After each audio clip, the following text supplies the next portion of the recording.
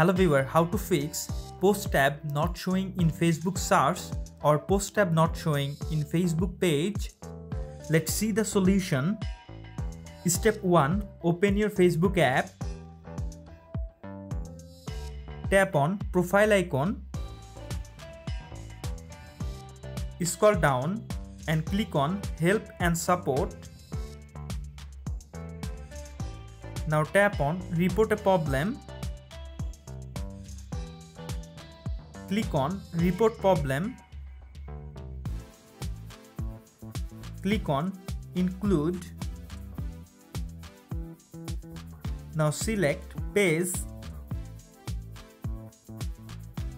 in this box describe hi facebook support team. When i search a page in search it does not show post tab. Please fix this issue as soon as possible then send your report to the Facebook support team. And now follow the second step. Open Google Play Store. Tap on search icon. Now search Facebook app. Update Facebook app. After complete the update process, open your Facebook app. Now search a page